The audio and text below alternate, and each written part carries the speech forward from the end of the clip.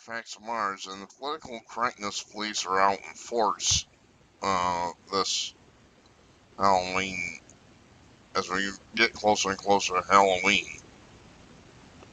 I said Halloween. University of Wisconsin to scrutinize Halloween costumes for racism. University of Wisconsin La Crosse has decided that they're going to check your column, costumes, see what you're wearing, make sure they're not racist. Hypersensitive campus set to host a review of student Halloween costumes to ensure they do not come across as racist. None of your business what I wear. Was there. UWL made headlines recently for students' outrage at Harry Potter character themed mural that student claimed depicted manpower, cis power, able power, class power. What does that mean?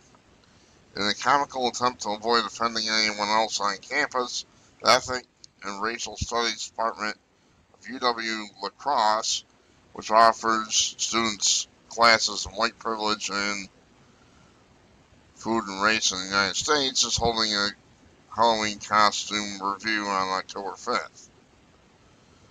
Is your costume racist? A poster for the event queries passers-by.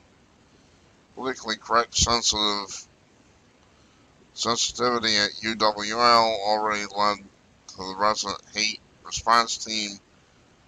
What on earth? Investigating sidewalk chalk that simply read Trump, build the wall, and all lives matter.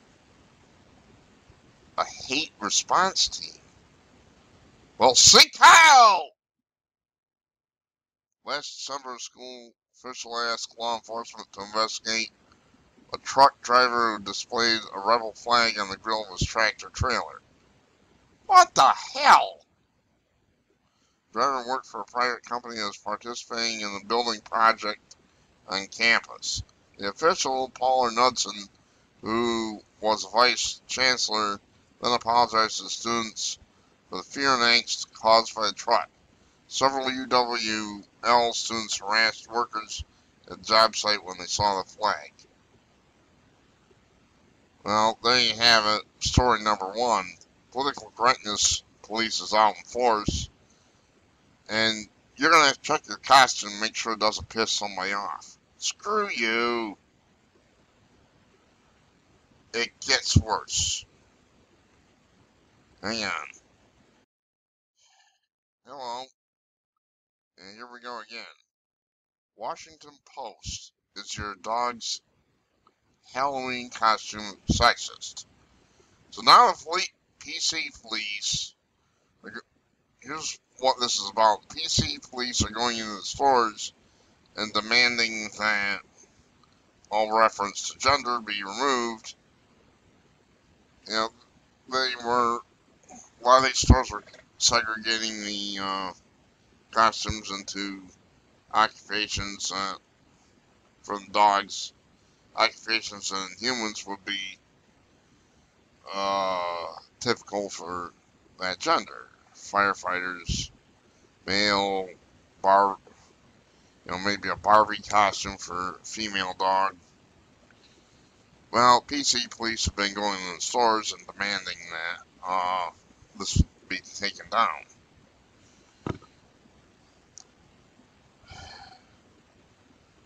Uh, national retailers have been taking steps to eliminate gender labels from their products for humans. Pet stores such as PetSmart and Baxter Boo still segregate dog costumes by male and female. Good. Male and female are different. It's the way it is. Glass ceiling appears to be firmly in place at PetSmart Oh, for crying out loud. Wear career costumes labeled male include firefighter and police officer, while female dogs can choose between a pink cowgirl costume and pink loofah. On site baxterboo.com, options for your female pooch include female heart nurse or French maid. Any tidy girl will look adorable wearing this French maid dog costume the site description reads. Whether your pup is clean freak or messy mutt, she will enjoy playing up, dress up in this costume. Seems silly on surface, but this is part of a larger message we're sending. But there are certain jobs for men and certain jobs for women. Said Scott Lowry, 36, who hosts a podcast. She will not be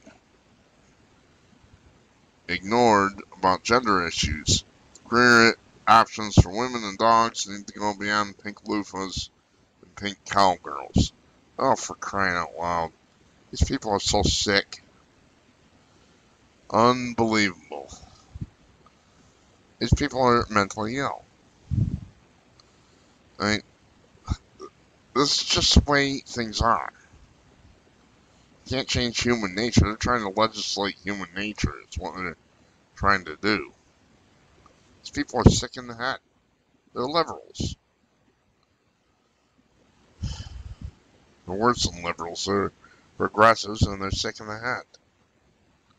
I'm Artifacts of Mars. Thanks for watching.